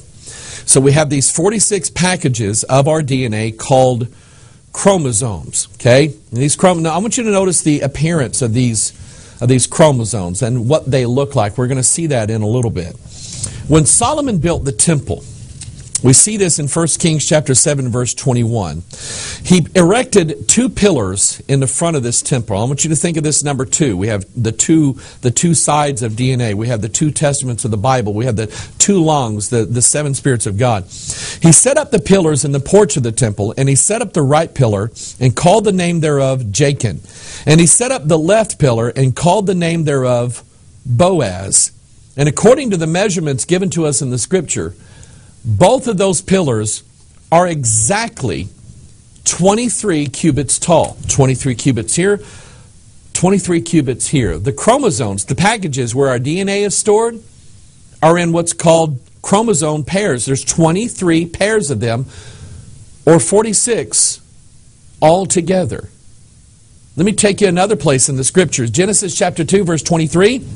You see, I believe that God created man, and I believe that God made the woman from the man and brought her unto the man. And when this happened in Genesis chapter 2, I want you to notice exactly what Adam said. Adam said, Notice that I have these words underlined. This is now bone of my bones and flesh of my flesh. She shall be called woman because she was taken out of man. Therefore shall a man leave his father and his mother and shall cleave unto his wife and they shall be one flesh. Now, I want to explain what he's talking about here. He's talking about when a man and a woman come together and they join together, nine months later, they have become one flesh. Because the miracle of conception is, is that 23 chromosomes are taken from the man and 23 chromosomes are taken from the woman, and they're joined together to make a little baby inside the womb of that mother. I count things in the Bible. Did you know that this exact phrase that Adam said has 46 words in it? And it's describing the exact conception and the nature of the creation of life inside of a woman's womb. In the 46th book of the Bible, the 46th book of the Bible is where we find out that we are the temple of God. Jesus had told the, had told the people around him, he said, Destroy this temple, and, and in three days I will rebuild it. And they, they didn't know that he was referring to the temple of his body. And in John chapter 2, verse 20, then said the Jews, 40 and six years was this temple in building. And wilt thou rear it up in three days? But he spake of the temple of his body. Is it just by accident that there are 46 chromosomes that contain our DNA in every cell in our body? And that this number 46 is consistently linked with the temple that, and the tabernacle that we see in the scriptures. So think of this. Here we have the two rungs of DNA, the two sides of DNA. They're joined together by the four base pairs, and they're contained in 46 packages called chromosomes. Let me show you this. This Old Testament, we all know, was written in Hebrew, which we've seen earlier has 22 letters. The New Testament, however, was written in Greek. It has 24 letters. When you add the number of letters of the Old Testament, 22, to the number of letters of the New Testament, 24, you have exactly 46. I don't believe that this is by accident. I believe that this is this shows us the handiwork of God. Now let's get back to the temple or the tabernacle. I again, I count things in the scriptures. God told Moses to build the tabernacle exactly the way Moses saw it in heaven. In other words, there was a heavenly temple. We saw that in Revelation chapter 4 with the 24 elders and the throne of God, the seven spirits of God. So, what's in heaven has got to match what is in earth. That's what Jesus prayed. Thy will be done on earth as it is in heaven. And so, God wanted Moses to build an earthly tabernacle, a, a temple, literally, so that God could dwell inside or with his people. So he built it according to the pattern that God showed him. This is really interesting because this tabernacle structure was made out of, it had a tent for a covering, like a ceiling. And it was made of, of, of boards going down the, the, um, the north side, the south side, and on the west side. Now, on the front of the tabernacle building, like this, you had four pillars adenine, guanine, cytosine, and thymine. Okay? Down the south side, there were 20 boards. Down the north side, there were 20 boards. And across the back, there were six boards. 46 boards in total, with the entryway consisting of four pillars, which match the four base pairs. I believe that literally we are the tabernacle of Almighty God. And when Moses constructed, when Moses constructed this tabernacle, he brought in the Levite priests and they were enumerated. And according to Numbers chapter 6 verse 62, there were exactly, exactly 23,000 Levite priests. 23, think of 23 chromosome pairs. 23,000 Levite priests that performed a sacrifice daily. In other words, there was, there was meat it was either an animal sacrifice or a grain sacrifice. You're going to like this, okay? Because I want, to, in fact, I want to go back to this. I want you to see this. This tabernacle is a perfect picture of every cell in your body. The tabernacle itself, the building itself, is the cell nucleus. That's where your DNA is. Remember the 46 boards? The wall around the tabernacle is the cell wall. Now, here's what happens. Here's what happens in your cell. This is how you live. We eat things like meat, animals, and we eat things like bread and grains and vegetables and things like that. There were two kinds of sacrifice that you could offer. You could bring in an animal, the flesh, or you could bring in grain. And so the body takes all this stuff that we eat and distributes it to the cells that is converted, that whatever that is, is converted in the cell to sugar, and sugar is burned up inside the cell to give energy to the cell. People would bring sacrifices to the priest. The priest would take it inside the cell. the tabernacle enclosure. They would take it in there, and in there was an altar, and they were burning, whether it was the grain or the meat sacrifices, they were burning these sacrifices, and God said it was a continual daily sacrifice that was taking place. See, we have to eat every day. And it was a continual sacrifice. It matches perfectly with the 23,000 priests. It matches perfectly with God's design of the human cell. So then Romans chapter 12 makes sense to us now.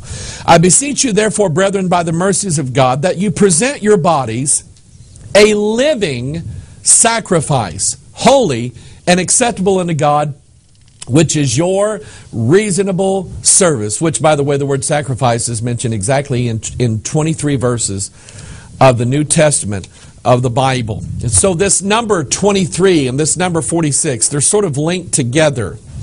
It all has to do with sacrifice. Remember, 23,000 priests bringing in the sacrifices so that the people could live because of their sins. There had to be a sacrifice made. The ultimate sacrifice for mankind was Jesus Christ. In Isaiah chapter 53, Isaiah just happens to be the 23rd book of the Bible. In Isaiah chapter 53, it enumerates everything that Christ did for us as a sacrifice on the cross with words like, Surely he hath borne our griefs and carried our sorrows, yet we did esteem him stricken, smitten of God, and afflicted. But he was wounded for our transgressions, he was bruised for our iniquities. The chastisement of our peace was upon him, and with his stripes we are healed. Notice the Bible is sort of giving you a list of things that happened to Christ. I counted them. There's exactly 46 things that foretold Christ's sufferings on the cross in the 23rd book of the Bible. Now I want to go back to this chromosome. Remember, these 23 pairs or these 46 chromosomes are the packages where our DNA is stored. Now I want you to notice our DNA sort of it looks this spiral, this Fibonacci sequence, this spiral. But if you look at it really, it sort of looked like you remember the caduceus? The caduceus was an emblem, an early ancient emblem, I believe, of DNA that had serpents coiled around in a DNA fashion. I want you to notice this because this DNA in these chromosomes matches exactly the cross of Golgotha. We literally have crosses in every cell of our body where our DNA is stored. Remember what we showed what we illustrated earlier the connection that the Old Testament makes with the New Testament, the fourth book of the Old Testament, the fourth book of the New Testament, they're joined together, they're mated together in the four Gospels. In Numbers, it says, And as Moses lifted up the serpent in the wilderness, even so must the Son of Man be lifted up. That is an exact replica of the DNA strands inside of the 46 crosses that are in your cell. Galatians chapter 2 verse 20, I am crucified with Christ. Nevertheless, I live, yet not I, but look at this. But Christ liveth in me. And the reason why we must present our bodies a living sacrifice is described for us in the book of Romans chapter 1 verse 29. I want you to follow with me being filled with all. Notice we have a list here unrighteousness, fornication, wickedness, covetousness, maliciousness, envy, murder, debate, deceit, malignity, whisperers, backbiters, haters of God, despiteful, proud, boasters, inventors of evil things, disobedient to parents, without understanding, covenant breakers, without natural affection, implacable, unmerciful. I count things in the Bible. You know, in this section right here, there are exactly 23 things that we have in us. And go back over this list again. Who in here has ever done wickedness? Who in here is, who has ever coveted? Who has ever been malicious? There are things in this list that I know that I have been guilty of and that I still have in me these things. And the Bible says in Romans chapter 1 verse 32, who knowing the judgment of God, that they which commit such things are worthy of death. You see, these, these things that I have in me, cause me to be worthy of death. And Romans 3 23 says, For all have sinned and come short of the glory of God. And Romans 6 23 says, For the wages of sin is death. But it doesn't stop there. It says, But the gift of God is eternal life through Jesus Christ our Lord. Now I want you to I want you to get this now. You have in your body right now literally a representation of Christ dying on the cross as a sacrifice for your sins. And Romans 6:23 specifically mentions that he is the, that Christ is the gift of God for your sins. Where did these sins come into play? Genesis chapter 3, we find out that the serpent introduced sin to mankind through Eve. Again, I count things in the Bible. And in Genesis chapter 3, every word that the serpent spoke to Eve totals 46. The number of chromosomes we have in our DNA. Can I tell you what this means? It means something that I think you and I both know. It means that we are all born sinners. And since we're all born sinners, we have it in us. We don't have to learn how to sin, although sometimes we learn how to sin better than what we know how. We don't have to learn how to sin. We have it automatically built into us. And that must be sacrificed. Romans chapter 2 verse 15, which showed the work of the law, remember the 10 commandments written in their hearts, their conscience also bearing witness. See, you know that you're a sinner. But now let's get back to Christ on the cross. He died for our sins. Remember the hand that came out of the bosom. Upon Christ was laid upon him all the sins of the world. And what did he do with those sins? He nailed them to his cross. Colossians chapter 2 verse 13. And you being dead in your sins and the uncircumcision of your flesh hath he quickened together with him, having forgiven you all trespasses, blotting out the handwriting of ordinances, which was against us, which was contrary to us, and took it out of the way, nailing it to his cross. The very gift of God says that even though we are born sinners, even though we have this evil nature within us, Christ died to save us from our sins because he took the condemnation of our sins upon himself and nailed it to his cross. And that picture is represented in every cell of our bodies. Christ dying for us. Remember what Paul said? I am crucified with Christ, nevertheless I live, yet not I, but Christ liveth within me. And remember, though the wages of sin is death, the gift of God is eternal life through Jesus Christ our Lord. Let me tell you what I find in the 46th chapter of the New Testament. Remember the angels. Remember the angels who in Psalm 19, the stars, the host of heaven, declare the glory of God. In the 46th chapter of the New Testament, we have the angels of God, that literally the stars. Remember, a star was over Bethlehem announcing something. What were they announcing? Luke chapter 2, verse 10 And the angel said unto them, Fear not, for behold, I bring you good tidings of great joy, which shall be to all people, for unto you is born, think of genetics, this day in the city of David a Savior, which is Christ the Lord. The angels are declaring the glory of God. And what is the glory of God? The glory of God is that God sent His Son, Jesus Christ, to bear our sins. And He just happens to show up in the 46th chapter of the New Testament. Romans 6.23 again says, For the wages of sin is death, but the gift of God is eternal life through Jesus Christ our Lord. 1 John chapter 1 verse 9 says, If we confess our sins, he is faithful and just to forgive us our sins and to cleanse us from all unrighteousness. You see, even though you were born a sinner, and God knows it, God knows you were born a sinner, he didn't just leave you alone to let you die in hell. He has a way of redemption for you. It's the gift of God that if we will confess our sins to God, God will be faithful and just to forgive us of our sins and cleanse us from all unrighteousness.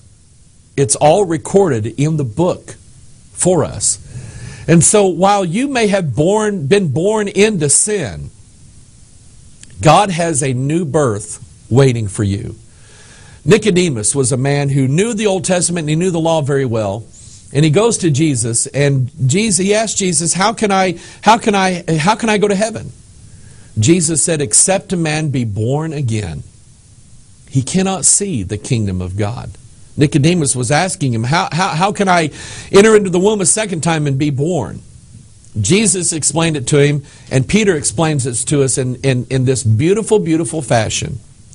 1 Peter chapter 1, verse 23.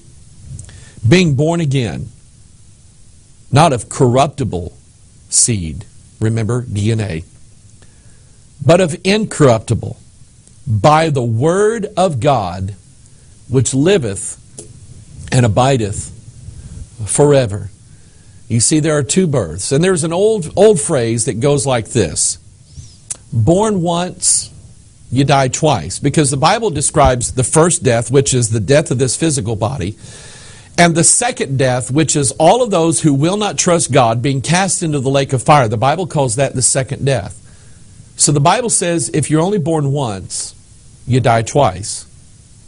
But if you're born twice, you only die once. This physical body will be shed off, and we are literally born again, created anew by the incorruptible Word of God. Jesus Christ and the Holy Bible and your DNA and everything that is about you was designed for God and for his pleasure. And what gives him the most pleasure is when you will come to Christ and say, God, I believe you created me. I believe you fashioned me in your image. And I believe the Word of God is true. And God, I want to be saved. I want to be born again and live in your kingdom forever. I hope if you have not already committed your life to Jesus Christ and believe upon His Word, I hope that you will. And I hope that I'll see you in heaven one day. This is Pastor Mike. I hope you've enjoyed this. I hope you've been educated. I hope, if nothing else, you'll question some of the things that you were taught and to understand that there's more to this universe and more to you than what all the worldly scientists can put together. It's all right here in the Word of God. Believe it, read it, live by it, you will be saved by it. God bless you. Bye bye.